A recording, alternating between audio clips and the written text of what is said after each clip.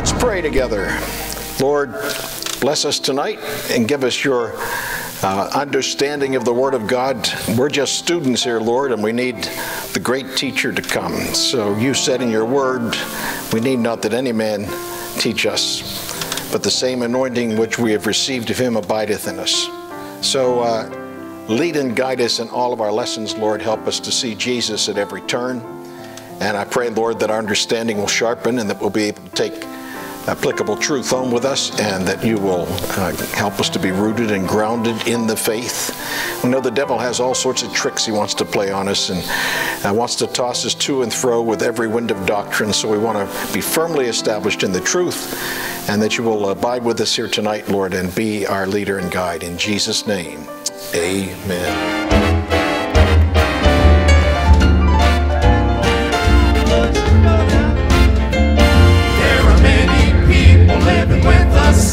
Of false security. They place their faith in the works of man and the things their eyes can see. But the Bible says there's only one true plan for redemption and justification. If you ever want to live in God's eternal home, you need a know soul salvation. You gotta no soul salvation. If you want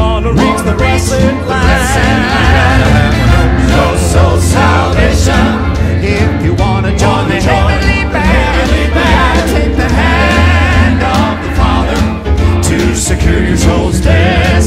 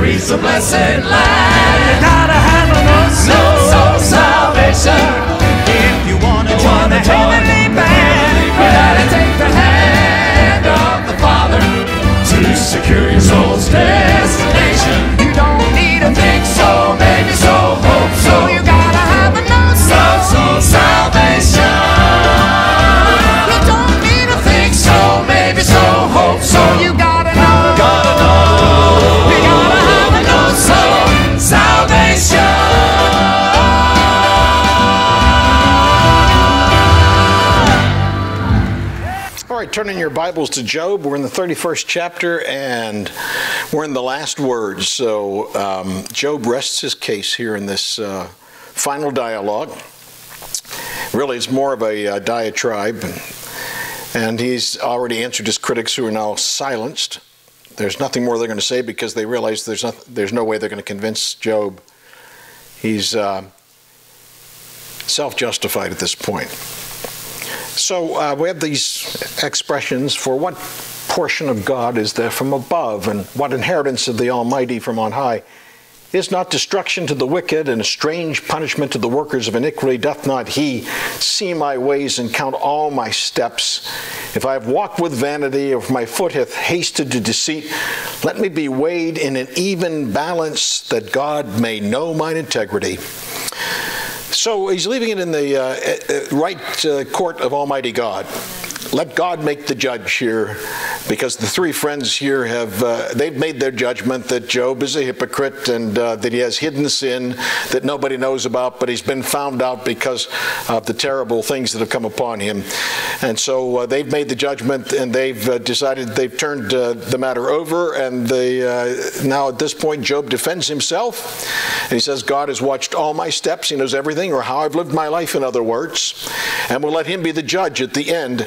Uh, so his only plea is that he, uh, he gets an even or a fair judgment. That's what he's asking for here an even scale in the judgments, uh, that God may know his integrity. So, let's just look at this expression let me be weighed in an even balance. So, you're talking about the scales of judgment at this point. And uh, the Psalms speak about the the condign judgment of Almighty God. When we say condign, in other words, uh, whatever, it's always going to be according to righteousness and truth. And what he does will be fair and right, and there will be no argument and no appeal. Once, once the Lord gives his judgment, it will be the right judgment, and uh, everybody will be in agreement. And Psalm 98 speaks about the Lord, and before the Lord, for he cometh to judge the earth. With righteousness shall he judge the world and the people with equity. Equity. So this notion is uh, fairness, even scale. He doesn't have his hand uh, on one side of the scale tipping the, the scales uh, against you. He, he knows exactly what the truth is, and he'll weigh it out in that fashion. Now, right away, as you're listening to all this, uh, we can be unnerved listening to this because we know a fair judgment would condemn everybody to hell. There's no doubt about it.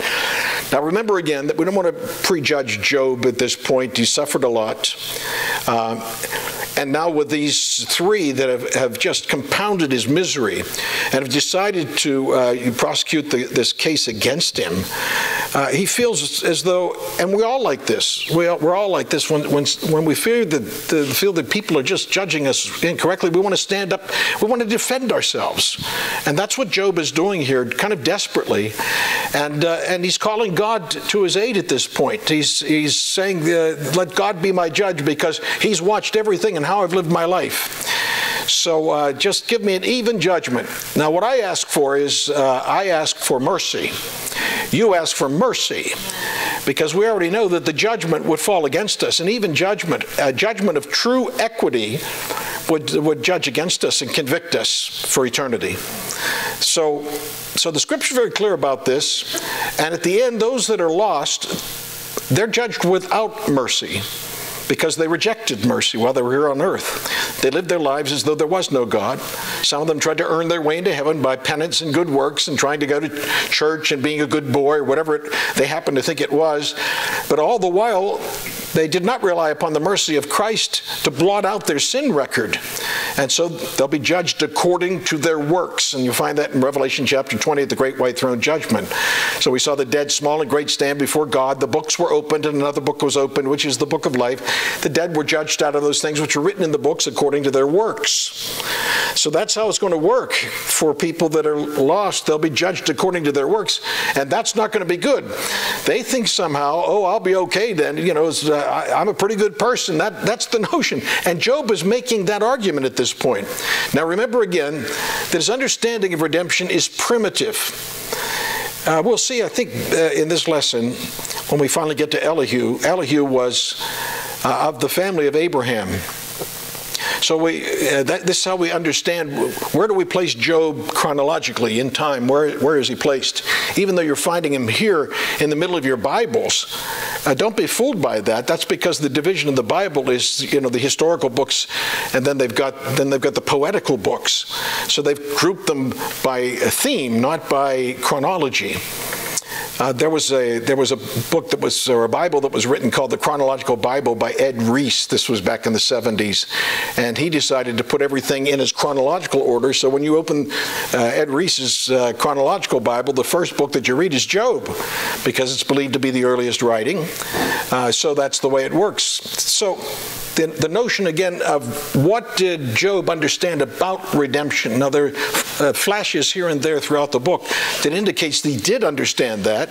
He understood it uh, to a degree, at least in a, in a kind of an adumbration or a shadow form. He didn't really understand it in the depths that you and I, now we've got a completed Word of God and we understand truth manifested uh, through the Scriptures. So it's really a completely different story for us. So, um, let's go back here to Psalm 99. Uh, again, the king's strength also loveth judgment. Thou dost establish equity. Thou executest judgment and righteousness in Jacob. So that's weighed in an even balance, isn't it? Uh, that's what the equity is all about. That God is an equitable God. Then uh, Genesis 18:25. When Abraham was arguing with God about the judgment of Sodom and Gomorrah, he was certain that God would not do anything that was unrighteous, that God would give a, an equitable and a fair judgment, which he did. And what did he do? He destroyed the city and the sinners within that city. That was fair, that was right. But he argues at this point because he's uh, he's making petition intercessory prayer for his loved ones that are there occupying a place and a berth and even a political position in Sodom and Gomorrah. And so you know the argument that went back and forth there would you save it for 50, 45, 40, 20, 10 all the way down to 10 and uh, the argument back and forth about would he he'd spare the city for 10 if he could find 10 righteous which he never did. So he uses as the base of his argument the equitable nature of Almighty God. So Abraham said, You wouldn't destroy the righteous with the wicked. That'd be far from you after that manner to slay the righteous with the wicked, and that the righteous should be as the wicked. That'd be far from thee. Shall not the judge of all the earth do right? What an expression that is, and how certain that is that uh, when we hear the accusations that are leveled against God by atheists, agnostics, complainers, skeptics, the disputers, uh, all of these people argue about the fairness of God and why does God let this happen and why is this, you know, and that, that's their that's their whole nature, and that that becomes the justification for rejecting God uh, to their own damnation. But we all know that God will do what is right. And even though if we can't see or understand how it could be right, when he tells the children of Israel to go in and to literally annihilate entire population. Genocidal in that sense. And we look at that and say, how, how could that be right? We've got little innocent babies, they don't know any better, and so forth. Why would God say you've got to take every one of them out? Uh, well, and that was to me, it was a great uh, puzzle to some degree to have to figure out over the years how could this be, how could this jibe with the nature of a loving, merciful God? And the, the answer is that how many years went on in those civilizations where God put up with what they did generation after generation after generation. There was nothing left to do, just like in the case of the antediluvians. He had to, he had to wipe them off the earth, the face of the earth. And when you begin to understand that the children that were involved there are children that God wants to spare, we find that in Jonah, right? They don't know their right hand from their left, and thus they're innocent. What has he done? He's actually spared them and saved them from how they would grow up under the influence of godless parents or idolatrous parents that would even be willing to sacrifice their own children to their fake God. So, in a sense, we see the mercy of God and, and wiping those civilizations out. But that takes a while to get to that kind of concept and understanding of the nature of God. And it begins with a premise or a thesis, as you will. The, the theory is God is just, God is right. Or is this question a rhetorical question? Shall not the God of the earth do right? And my answer is absolutely. So if it looks to me like I'm reading something in the Bible that doesn't seem right that God is doing, I must be wrong about how I'm perceiving what's happening here. I might not have enough information. I certainly don't live at the time, so don't understand the climate in which God does or permits what he does. Uh, so long ago, I decided that I'm not here to debate how good God is. I already know that he's good. And I know that he's righteous. I know his judgments are equitable. So there's no doubt in my mind that if he says to do something, it must be for the good. And that it, it, is, uh, it is what God's nature is all about. Isaiah 11 tells us, uh, but with righteousness shall he judge the poor. Now we're talking about in Isaiah 11, that would be Jesus, right? So he's the, uh, he's the root out of Jesse. So with the righteous uh, shall he judge the poor and reprove with equity uh, for the meek of the earth And he shall smite the earth with the rod of his mouth, and with the breath of his lips shall he slay the wicked. Now, a lot of the judgments of God are they're condign in the sense of uh, there, there's an ultimate judgment, isn't there? So we see a lot of people getting away with things, and there's injustice in a cursed world, and God evidently permits the injustice to go on. And we might argue again, well, why doesn't He come and stop this injustice? And uh, there's more to say about that at the end of our uh, discussion here tonight. That God, in fact, uh, requires us to endure injustice. Now, there's a lot of people need to understand that, and it's hard for people today to understand that that that nature. But there's things that happen, injustices that are never righted here on earth, and so we have to wait for the final day when all this is going to be taken care of. And so all this messy record here is going to be cleaned up. All right, so back to our text there. Start at the seventh verse now. So if my step hath turned out of the way, and mine heart walked after mine eyes, and if, if any blot hath cleaved to mine hands, then let me sow, and let another eat. In other words, uh, let there be a recompense for my evil. If I've done something evil, then, then let it be so. And if any blot uh, hath cleansed my hands, then let, let, me, let me sow and let another eat. Yea, let my offspring be rooted out, if mine heart have been deceived by a woman, or if I've laid wait at my neighbor's door. He's talking about adultery, right? That he's done. Then let my wife grind into another, and let others bow down upon her. For this is an heinous act, crime. Yea, it is an iniquity to be punished by the judges. So what's Job saying? Well, look, if I've done something wrong, I deserve whatever comes to me. And uh, so uh, in this case, of course, he, he, outlines again, and we, we did a whole study last week about adultery and fornication and all these sexual sins. And uh, uh, Job says, if I've done any of these things, that's why he had made a covenant with his eyes, but he, he knew he was innocent in these matters. But he said, if, if that's the case, then, then let this be done to me. And, and again, even though he's justifying himself before the three friends, he's also making the argument to God. He's saying, Well, what have I done to deserve what's happening to me? Uh, if, if your judgments are right and true, why is this occurring to me? You see, and this is the, something that plagued him. He, he needed an, an, interview with the Almighty, uh, which is coming shortly. So what he's doing at this point is since, since God hasn't come to his defense, he's come to his own defense. And, uh, and he's put forth the argument. So, in other words, he's saying, Examine me. If there's something wrong, then I deserve whatever comes to me. But he couldn't think of what he could have done that would have brought this kind of judgment upon him. Now, self examination is a part of the Christian walk. It's something we need to do all the time. And uh, we should be doing it on a daily basis. Is there something that I'm doing that's wrong, that's displeasing to God, and we want to get that out of our lives? Examine me, O Lord, uh, Psalm uh, 26 2. Psalm 26 is all about, uh, you know, I shall not slide. It's quite an assertion there in the first verse. And, and so uh, you've got all these points that come thereafter, and I think there's 10 verses or so in Psalm 26. And each one of those is an outline of how to live your life so that, uh, so that we'll not backslide, will not, will not be in some kind of backsliding condition. I shall not slide. And so one of them here you can see is to examine yourself. Uh, and, and, and, invite God to examine your heart at all times. Examine me, O Lord, and prove me. Try my reins and my heart. First Corinthians says, in a New Testament sense, uh, but let a man examine himself, and so let him eat of that bread. He's talking about the, the communion table and drink of that cup. Self examination. And uh, the word itself even appears here in uh, 2 Corinthians 13 5. So examine yourselves whether ye be in the faith. Prove your own selves.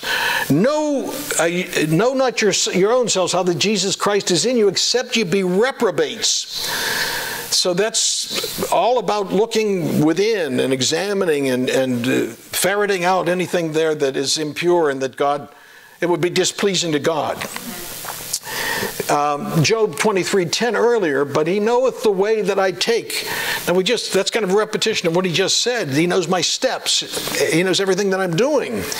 And being aware of this at all times, that the eyes of the Lord run to and fro in the earth. Proverbs 15:3, the eyes of the Lord uh, behold the evil and the good. He's got uh, omniscience. There's nothing you can do to hide from God. I mean, that's so obvious to all of us. But because we can't see Him watching us, and what a difference that makes. I was just commenting to my wife, you know, we have a guy that walks his rather large dog uh, every night, and he comes by people's yards and he lets the dog do his uh, business in other people's yards. Now, I think he picks it up.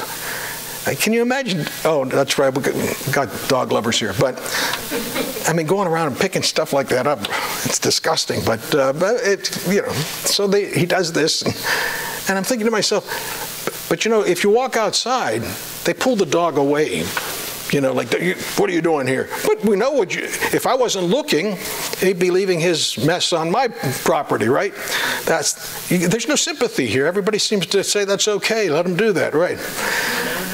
Well, we should just take all of that that they leave in your yard and take it over to their yard. But at any rate, uh, where was I going with? Well, at any rate, I wanted to, that was on my heart to bring that out. But I thought it has nothing to do with it if somebody's watching you, you wouldn't do it, would you?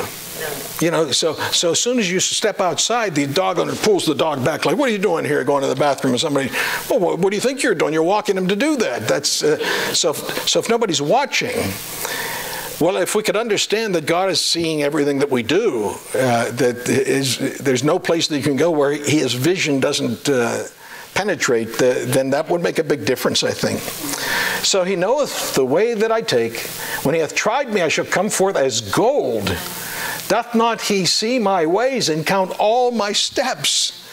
And then uh, David writes, Thou hast proved mine heart, thou hast visited me in the night, thou hast tried me, and shalt find nothing that, that's something to say there, isn't it? I am purposed that my mouth shall not transgress. And here he's even talking, I mean, the mouth, James says, that's the little member of the body that boasts great things. It's a world of iniquity. It's on fire from hell, isn't it? So the man that's pure in his speech is, is pure altogether. Uh, so, but the psalmist here says, I, am purpose that my mouth shall not transgress. And Jeremiah tells us, But thou, O Lord, knowest me. Thou hast seen me, thou hast tried mine heart toward thee. All right, so back to our text there when Job says, If I did this, that, and the other, then this would be an appropriate response. And what I'm going through uh, would be uh, something that I truly deserve. And so that's how he's looking at this circumstance, uh, which I find interesting now. So several times he uses the conditional if. If. There's a book that was written by Amy Carmichael called If. Everybody familiar? Anybody familiar with it? Okay, so it's just a little uh, devotional. I don't even, is it 40 pages, 30 pages, something like that.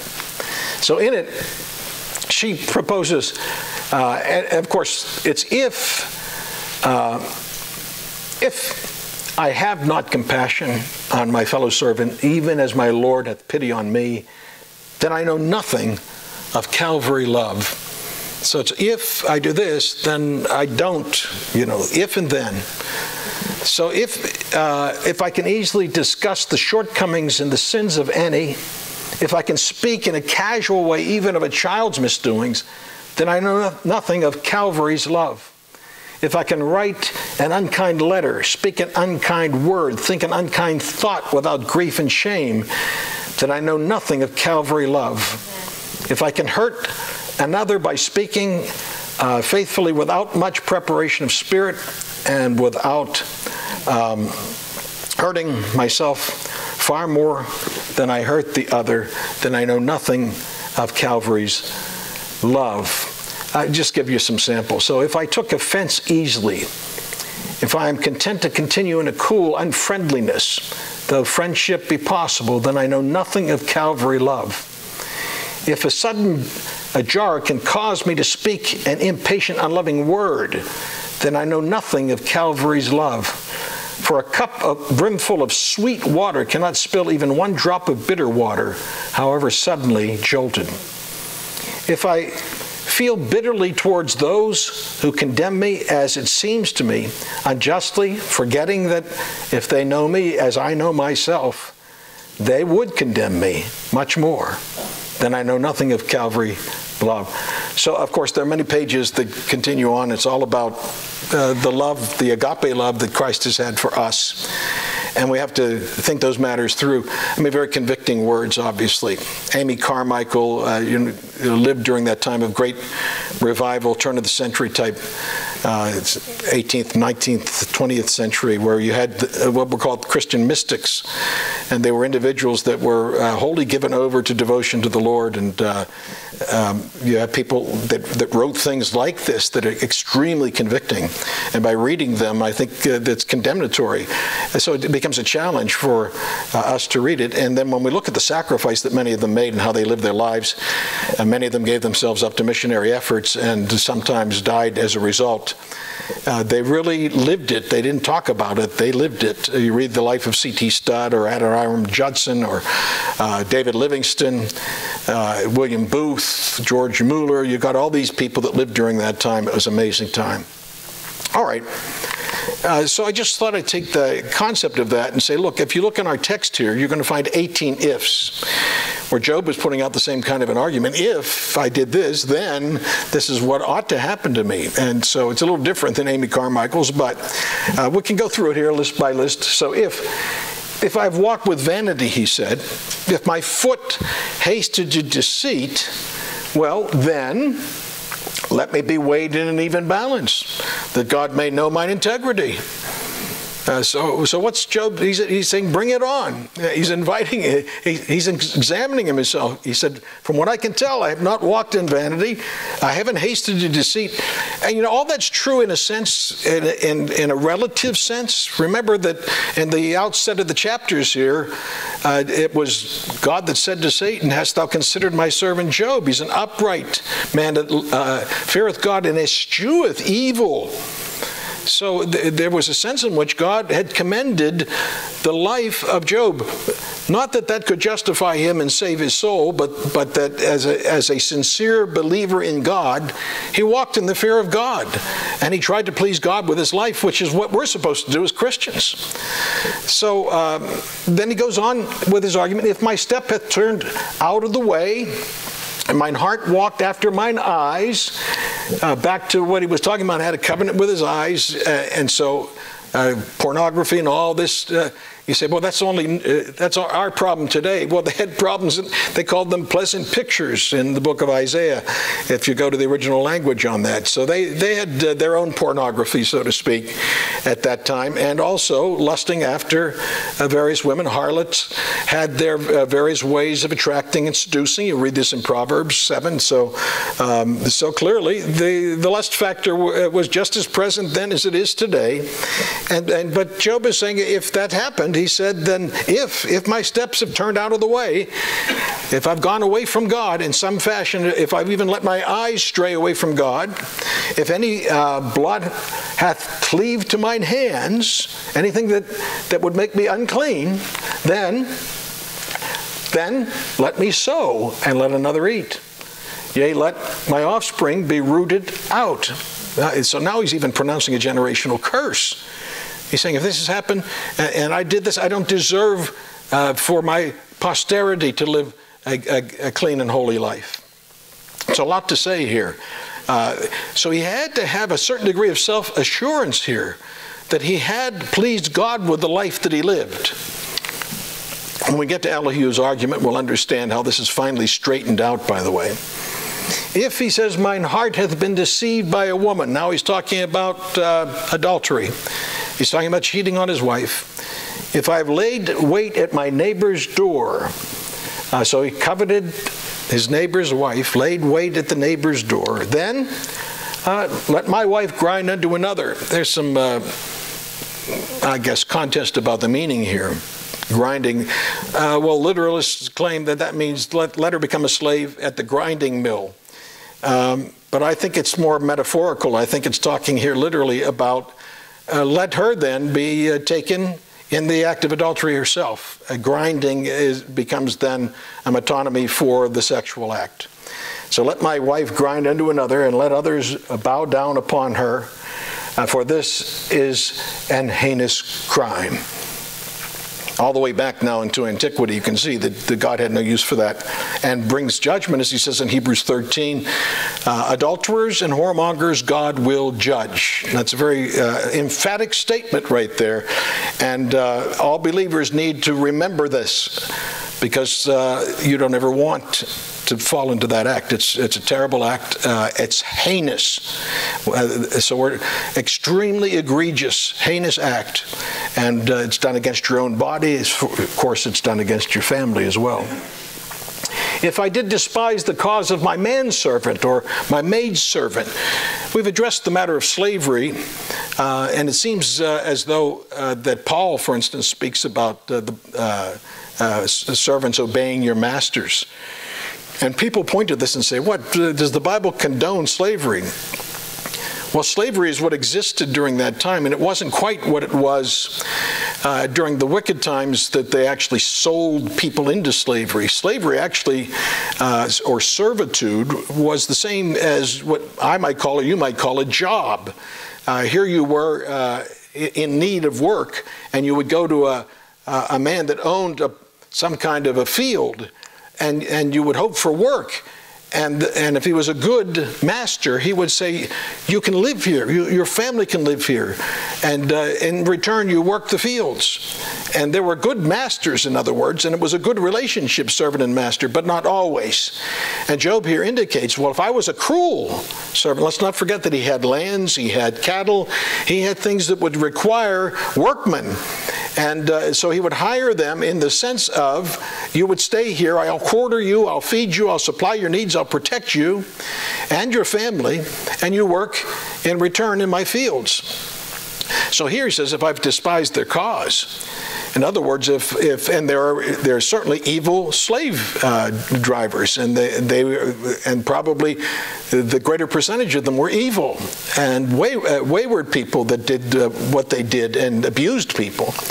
But that's what Job argued. If, if that's how I was towards them, uh, if I have withheld from the poor from their desire, or have caused the eyes of the widow to fail, or have eaten my morsel myself alone, and the fatherless had nothing to eat, if I've done these things, he says, if I've, uh, if I've seen any perish for want of clothing or any poor without covering, if his loins have uh, not blessed me, if uh, he were not warmed with the fleece of my sheep, he goes right down the list here. If I've lifted up my hand against the fatherless when I saw my help in the gate, then, then let mine arm fall from my shoulder blade.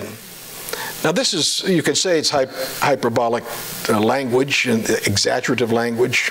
Let my arm fall out of my shoulder blade.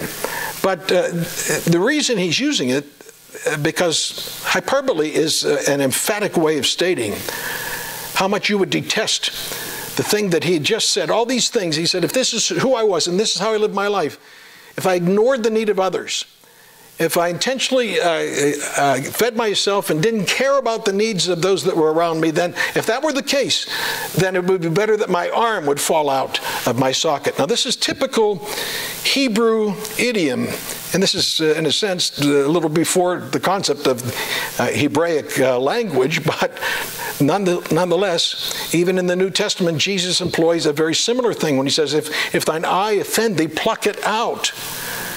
In other words, it'd be better to have my eye plucked out. It'd be better to have my hand cut off, my foot cut off. These, these are all hyperbolic statements in, intended to give emphasis to how horrible it would be to do this act. It would be better that such a thing would happen to us. Better that my shoulder would fall out, my arm would fall out of my shoulder, and my arm be broken from the bone. For destruction from God was a terror to me. If uh, I have made gold my hope, or have said to the fine gold, Thou art my confidence, if I uh, rejoice because of my wealth was great and because mine hand hath uh, gotten much. Well, that's the notion again of people, and it's in the New Testament concept. Jesus warned about trusting uh, the uh, mammon. Mammon, of course, is a, a term, uh, it's uh, the god of money, the god of wealth and you put your faith in that. And if that's where your faith is, then it can't be in God. And so uh, Job said if, if with all the wealth that he had, he wasn't trusting uncertain riches. Uh, 1 Timothy chapter 6, godliness with contentment is great gain. We brought nothing into this world. It's certain we can carry nothing up, and having food and raiment, let us be there with content. But they that be rich fall into temptations and snares, into many foolish and hurtful lusts, which drown men in perdition and sorrow. For the love of money is the root of all evil, which while some coveted after, they have erred from the faith and have pierced themselves through with many sorrows. Uh, and then later on, of course, the notion there of uh, not to trust in uncertain riches, because uh, Proverbs say what riches grow wings and fly away. So Job is saying a similar thing here, and this is this is early uh, in the concept of axiomatic wisdom. He said, "If I've trusted gold, if that's where my hope is, then woe be to me." Well, someone decided long ago to put on the on the dollar bill, "In God we trust." uh, almost a, a, reminder to say, can't be you, you can't be trusting in that dollar bill. It must be in God alone. Of course, the atheists want that off. They want that off the uh, currency. And they'll probably get their way at some point with all of this, right? Because we're in the woke generation after all. We can't have this on our dollar. If I rejoice because my wealth was great, because mine hand hath gotten much, if I beheld the sun when it shined, or the moon walking in brightness, and my heart hath been secretly enticed, or my mouth hath kissed my hand.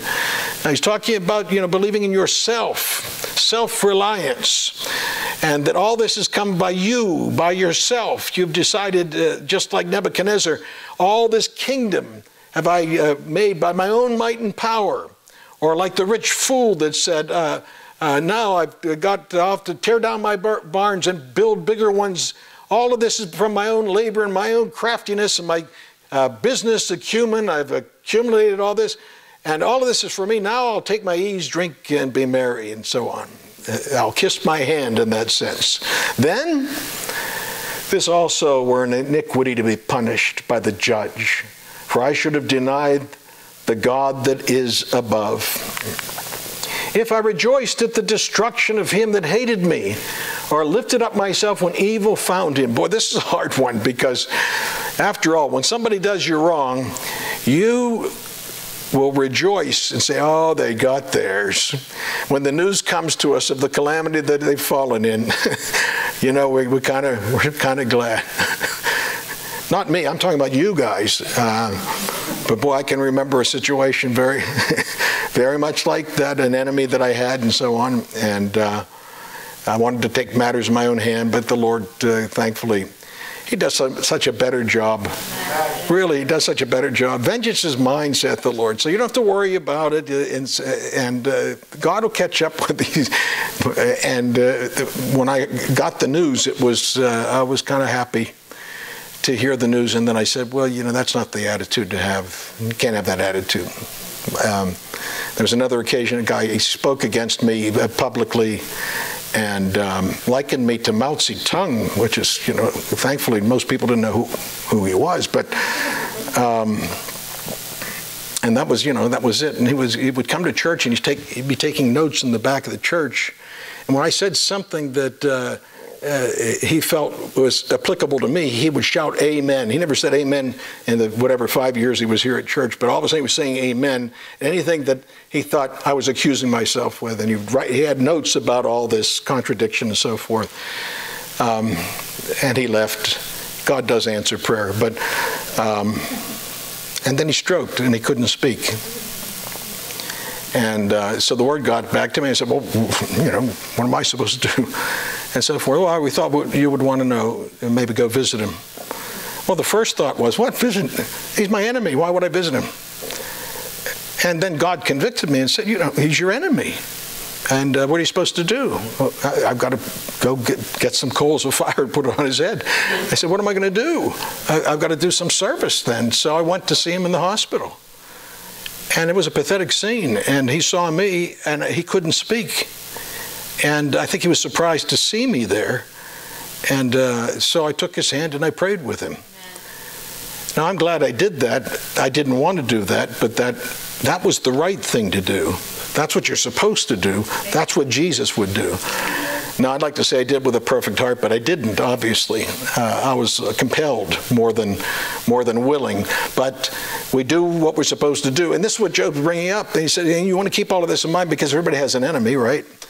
Uh, I've had several. So if I rejoiced at the destruction of him that hated me, uh, or lifted up myself when evil found him, but he said, Neither have I suffered my mouth to sin by wishing a curse to his soul. Remember David uh, when he was uh, he was cast out and um, trying to remember his name was casting a curse at him as he was leaving Jerusalem and so forth, and uh, he was now an exiled king, and uh, so as he's going out.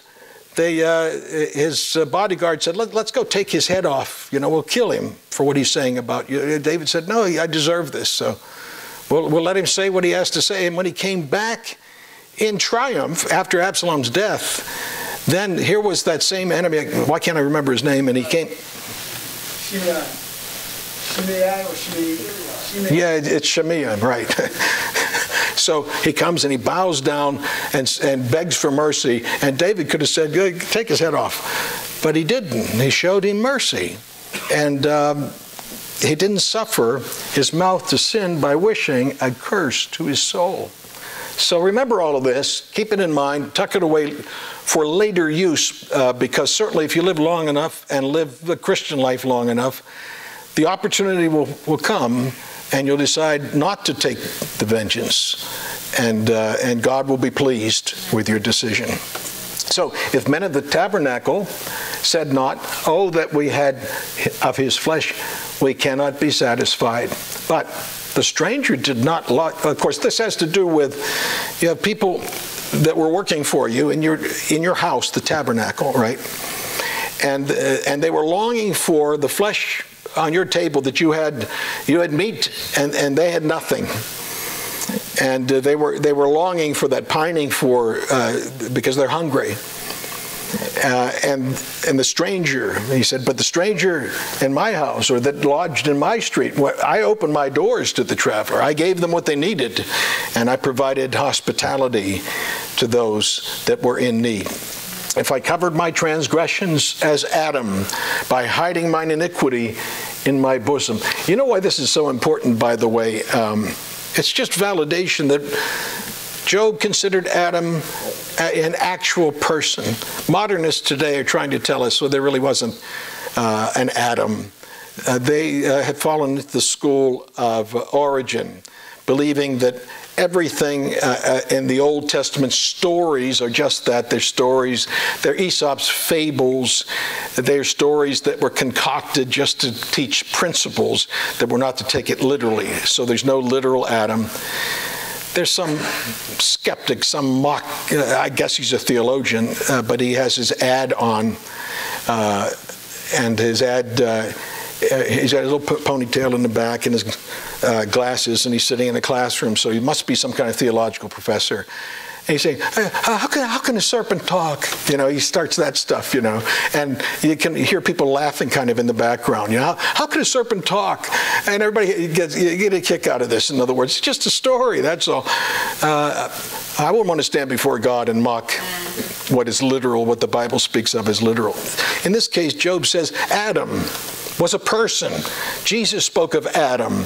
This is all a book that self validates itself. So when you read it in one place, it's confirmed in another, and then another, and another. And that tells us this isn't something that was just made up. This is not fable. This, these were actual people. And that Adam sinned and hid himself, as it tells us in Genesis 3 is validated right here by Job's words. So he said, If I covered my transgression like Adam, who covered his by hiding mine iniquity in my bosom. Well, he didn't do that, but my desire is that the Almighty would answer me and that mine adversary had written a book. He said, if that's the case, if, I, if I've hidden my sin somewhere, then I ask God to open the book and show me what those sins are. And I'm telling my adversary, the three that came to criticize and accuse Job, write a book Write it all down. What did Jesus say when he appeared before the judge and uh, they wanted uh, to bring accusations against him and they wanted Jesus to incriminate himself? Uh, and when they asked him about certain teachings, Jesus said, Ask those that heard me. Ask them.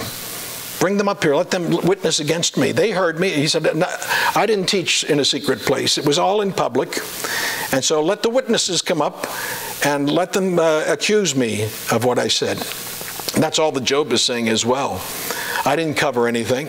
I'm not hiding some kind of secret sin that nobody knows about.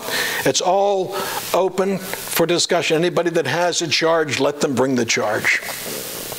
If I've eaten the fruits thereof without money, or have caused the owners thereof to lose their life, then let thistles grow instead of wheat, and cockle instead of barley. Now he's talking about uh, cheating in business affairs. And this goes on all the time where people uh, get over on somebody. They, you know, they did they intentionally uh, lied about a circumstance, sold a piece of ground that was really uh, couldn't grow any uh, crops on, and uh, didn't tell the people that, didn't give that information. You know, if you sell a house today, you have to have a list of things that you know that are wrong with your house. And you have to be able to give them a list and say, look, I know that this is wrong because that can come back later and they'll say, well, you didn't put this down on the list. And here you didn't tell us that this uh, property is riddled with mines and that you've had mine subsidence. You have to tell people these things. Uh, but that law was, was, is a recent law because We've had people cheat and lie, and uh, that's what he's talking about here. If I've eaten the fruits thereof without money, or I caused the owners thereof to lose their life, and their life uh, in this case means their livelihood, because I've cheated them in some fashion, or I, I, I didn't tell them uh, and disclose all of the information. Then, in that case, then let thistles or thorns grow instead of my wheat. Uh, and cockle instead of barley. Let, let, let it come back to me as a result. So there you have those 18 ifs and thens uh, that you can put together here. So he's made quite a convincing argument.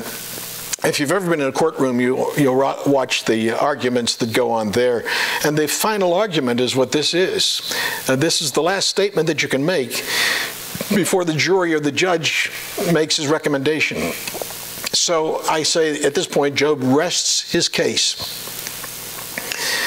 So, uh, and this is where we get the final verse of our text there in this chapter is that the words of Job are ended. Now, what he means by that, Job will have something more to say here a little later on. He's talking about his argument. Uh, he rests his case. This is everything. He just went through a whole litany of things. He said, if any of these things I'm guilty of, then, then, then let the recompense come. Let the judgment come upon me. I deserve this.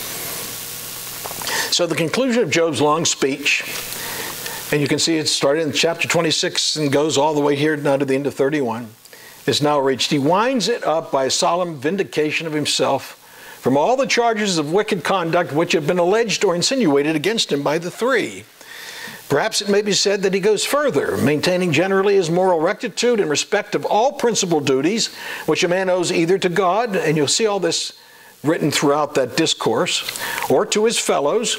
He protects, uh, protests that he is innocent of impure thoughts, of false seeming, of adultery, of in, injustice toward his dependents, of hardness towards the poor and needy, of covetousness, of idolatry, of malevolence, of want of hospitality, of hiding his transgressions, of injustice as a landlord. In conclusion, he wants uh, more, makes a solemn appeal to God to pronounce judgment on his case, promising to give complete account of every act of his life and calmly to await his sentence. So, um, so this is the uh, this is the conclusion. So. Uh, the words of Job here, in the sense, are ended. There's nothing more he needs to add to what he's already said. He's made, uh, he's made, I think, a very strong case and uh, it's what he's been pondering for all this time. So, why am I going through all of this? He still doesn't have an answer to that because, as far as he's concerned, he really doesn't deserve this. And since you and I are privy to what was going on in chapter 1 and 2, we understand what was going on with Job uh, in the heavens, the discourse between God and Satan, and why God said, All right, I'm going to let him be tempted and tested to prove that he truly does love me, that I'm not paying him and richly blessing him, so he will bless me in return. We'll take everything away and we'll put him to the ultimate test. Now, Job didn't know that that's what was going on. And as a result, he's looking to himself, is what did I do to deserve this? That's how we kind of began our lectures here. What did I do? So that's uh, so he rests his case. Now there was an interesting uh, proposition that was, I think, somewhere in the 50s it came up the, the notion of if, if you were arrested for being a Christian, would there be enough evidence to convict you? Uh, uh, you probably all heard that, haven't you? I mean, it's, uh, it's something to ponder. Okay, so if you were arrested, they said the charge is you are a born again Christian and you're under arrest. Now, if they brought you before a judge and a jury, would there be enough evidence that could condemn you? That they'd say, absolutely, we found you are guilty of being a Christian. So, what kind of evidence would you be able to produce at a moment like that? Well, you can say, Well, I confess Christ as my Lord and my Savior. That's a good thing, but confessions, well, as a matter of fact, in the legal sense, uh, they, they, they use an expression in the courts, corpus delicti. And corpus delicti is uh, basically, it's saying you can't just take a person's confession. Believe it or not, people have confessed to things they didn't do. That's hard to believe, isn't it? But, but there are many cases like this where people actually make a confession to something they never actually did. There it is, corpus delicti provides that a, a, confession standing alone isn't enough for a conviction.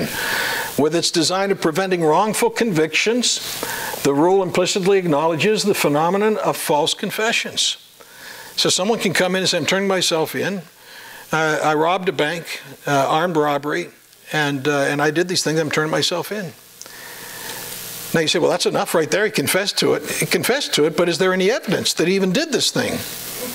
So now, now, before they can actually send him away, they've got to go find out if a bank has been robbed.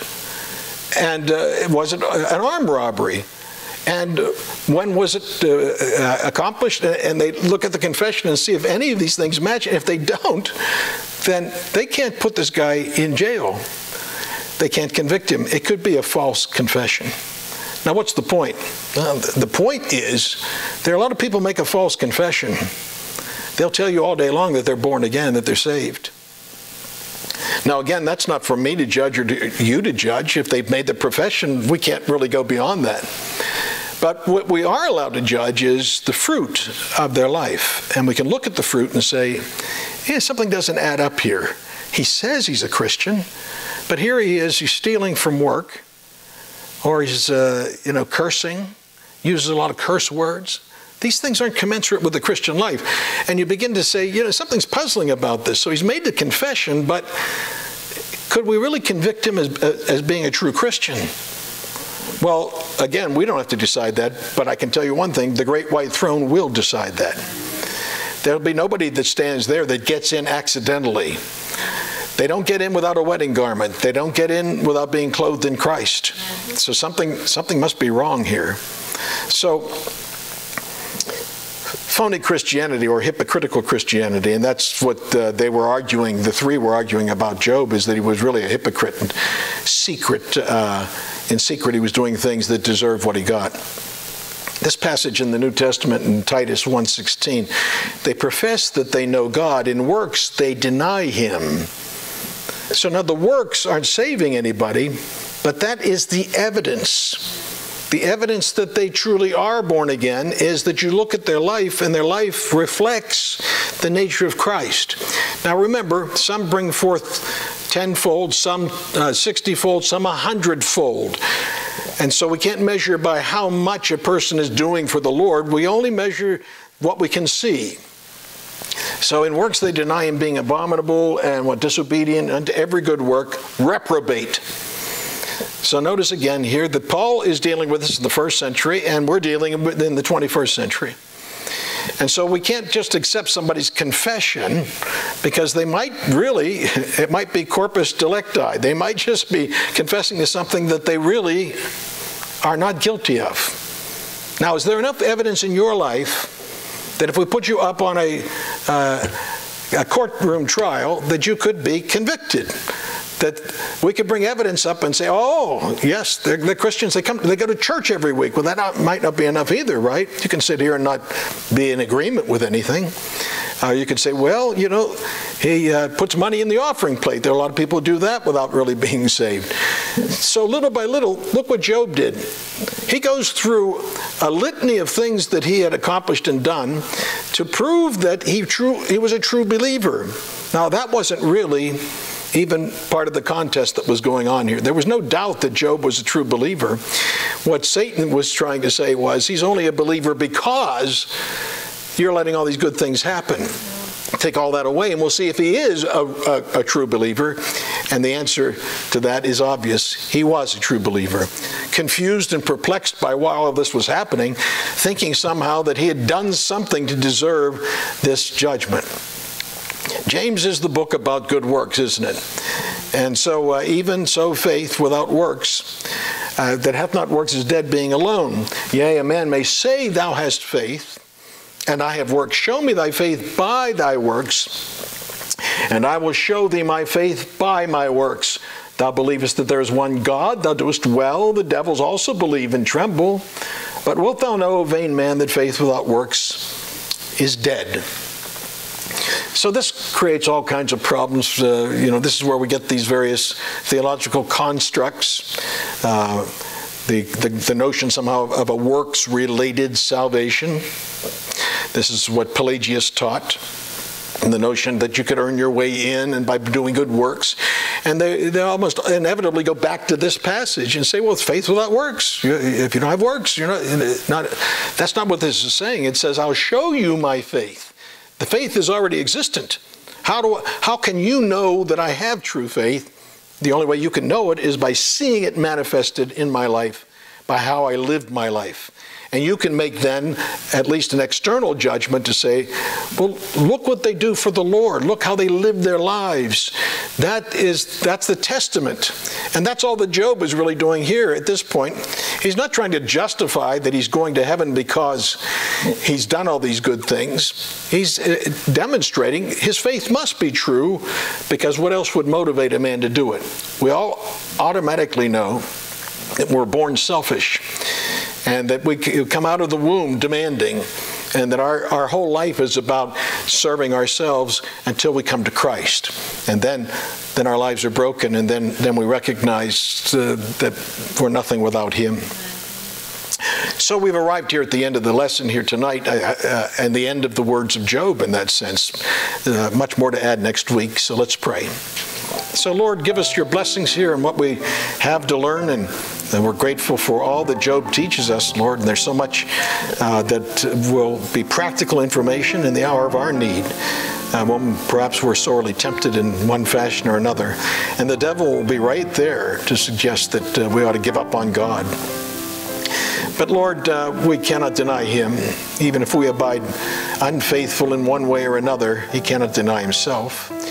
So, Lord, as long as we have been truly born of your Spirit, and we have the evidence of that in our own heart, the self assurance is not good enough, but the Spirit assurance, the Spirit Himself uh, convinces us, bears witness with our spirit that we are the sons of God. So we don't need anybody else's confirmation but yours, Lord. So confirm it in our hearts tonight, Lord. We pray that all of us here can, like Job, be able to justify and say, well, my, my works would indicate the way I conduct myself uh, before others and in my home, at my work or school, uh, would indicate that I belong to Jesus Christ. I'm His property. Thankfully, Lord, our understanding of truth is so much deeper than what Job could have ever had. We have now a completed New Testament, the finished work of Christ on the cross, and the uh, great advantage of your Holy Spirit living inside of us. So bring us your blessings here tonight, Lord, and may we have assurance from above, uh, an assurance and a certitude that cannot be shaken. In Jesus' name, amen. We invite you to accept the plan of salvation that God has laid forth from the foundations of the earth. And the first point of that plan is that all have sinned. As it is written, there is none righteous, no, not one. There is none that understandeth. There is none that seeketh after God. They are all gone out of the way. They are together become unprofitable. There is none that doeth good. No, not one. So begin by confessing your sin before God, that you have sinned against Him. And you can't even recollect all of the times that you've offended Him. He has the record, and that record needs to be expunged. Secondly, it's important to know that God will punish sin. If it goes without atonement, we will pay the ultimate price. For the wages of sin is death, but the gift of God is eternal life through Jesus Christ our Lord. And that eternal price is hellfire and brimstone. Then shall he say also unto them on the left hand, Depart from me, ye cursed, into everlasting fire, prepared for the devil and his angels. But Jesus paid the price and made the atonement on the cross. God commendeth his love toward us, in that while we were yet sinners, Christ died for us. Much more than being now justified by his blood, we shall be saved from wrath through him. When Jesus died, he said, It is finished. He made an end to our damnation and our debt that we owed to him, paid by his own blood, and justifies us before a holy God. On the third day, in triumph, Jesus rises from the dead. That if thou shalt confess with thy mouth the Lord Jesus, and shalt believe in thine heart that God hath raised him from the dead, thou shalt be saved. So call upon him today. Seek the Lord while he may be found. Call ye upon him while he is near. For whosoever shall call upon the name of the Lord shall be saved. Behold, now is the accepted time. Behold, now is the day of salvation.